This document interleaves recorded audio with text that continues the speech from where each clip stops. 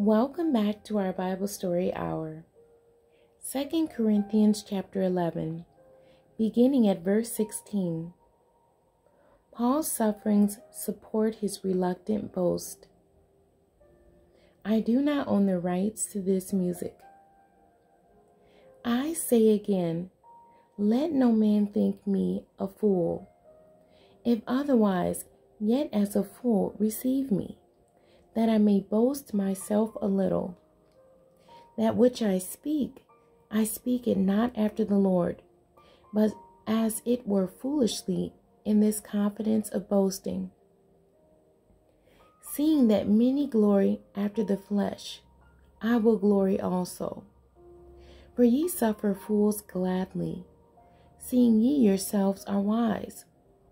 For ye suffer if a man bring you into bondage if a man devour you, if a man take of you, if a man exalt himself, if a man smite you on the face, I speak as concerning reproach, as though he had been weak.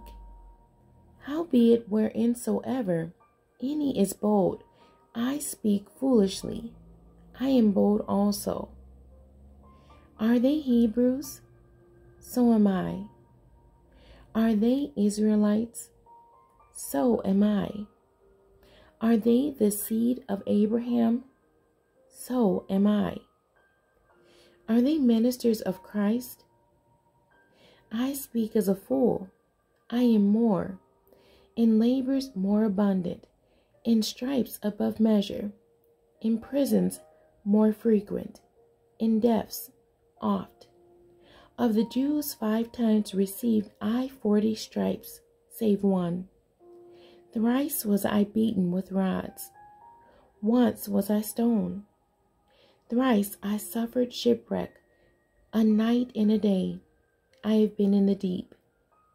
In journeyings often, in perils of waters, in perils of robbers, in perils by mine own countrymen, in perils by the heathen, in perils in the city, in perils in the wilderness, in perils in the sea, in perils among false brethren, in weariness and painfulness, in watchings often, in hunger and thirst, in fastings often, in cold and nakedness, beside those things that are without that which cometh upon me daily, the care of all the churches. Who is weak, and I am not weak? Who is offended, and I burn not? If I must needs glory, I will glory of the things which concern mine infirmities. The God and Father of our Lord Jesus Christ, which is blessed for evermore, knoweth that I lie not. In Damascus, the governor under Aretas, the king, kept the city of the Damascenes with a garrison, desirous to apprehend me. And through a window in a basket was I let down by the wall and escaped his hands. The end. God bless you and thank you for joining me today.